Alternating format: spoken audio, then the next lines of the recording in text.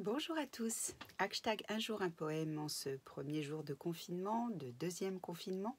On reprend donc euh, nos bonnes habitudes euh, d'un poème par jour euh, pour pouvoir s'évader au moins par la pensée.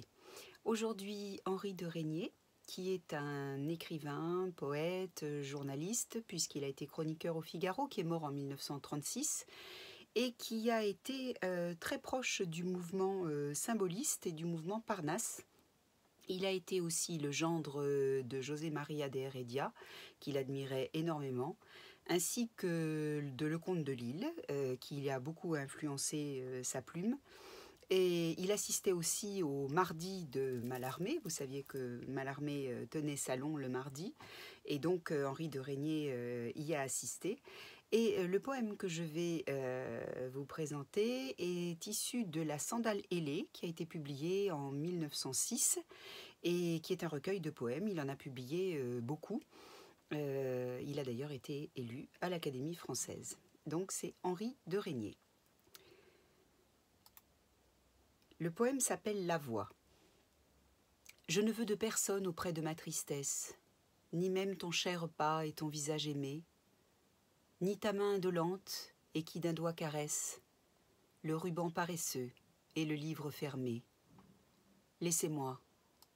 Que ma porte aujourd'hui reste close, n'ouvrez pas ma fenêtre au vent frais du matin. Mon cœur est aujourd'hui misérable et morose, et tout me paraît sombre, et tout me semble vain. Ma tristesse me vient de plus loin que moi-même. Elle m'est étrangère et ne m'appartient pas. Et tout homme qu'il chante, ou qu'il rit, ou qu'il aime, à son heure l'entend, qui lui parle tout bas. Et quelque chose alors se remue et s'éveille, s'agite, se répand et se lamente en lui. À cette sourde voix qui lui dit à l'oreille que la fleur de la vie est cendre dans son fruit. Voilà, vous reconnaissez donc les influences euh, symbolistes.